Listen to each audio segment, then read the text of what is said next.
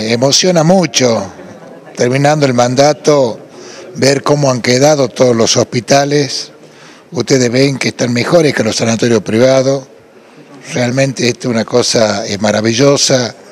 Todo lo que hemos hecho para que este hospital quede prácticamente nuevo no solamente desde el punto de vista edilicio, sino con aparatología. Estamos inaugurando toda un área de consultorio que estaba muy viejita en el hospital y que hemos podido poner a nuevo, con aire acondicionado, con un lugar cómodo para que la gente espera. Este es un hospital que atiende casi mil consultas ambulatorias. Para que tú tengan una idea, el Hospital Padilla atiende por día 700. Estamos hablando, es un hospital que atiende un 30% más de consultas que el Hospital Padilla, un hospital muy grande, con una, un énfasis en lo que es lo ambulatorio y no olvidar también que es una gran maternidad, una de las grandes maternidades de la Argentina. Y también inaugurando todo el área administrativa.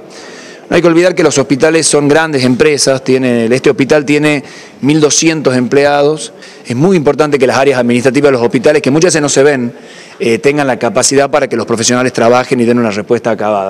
Desde el mismo momento en que, desde el punto de vista político, hubo intenciones de trabajar y de apostar fuerte en salud, eh, todos los hospitales y afortunadamente nuestro hospital también ha ido consiguiendo actualizar la propuesta eh, desde el punto de vista de ofrecimiento de servicios a la comunidad y nos hemos ido enriqueciendo no solo con la actualización de los espacios físicos, sino también con equipamiento. Lo que queremos dar, lo que nosotros hemos dicho, que la gente que venga a los hospitales sean atendidos y que estén en un lugar igual o mejor que un sanatorio privado.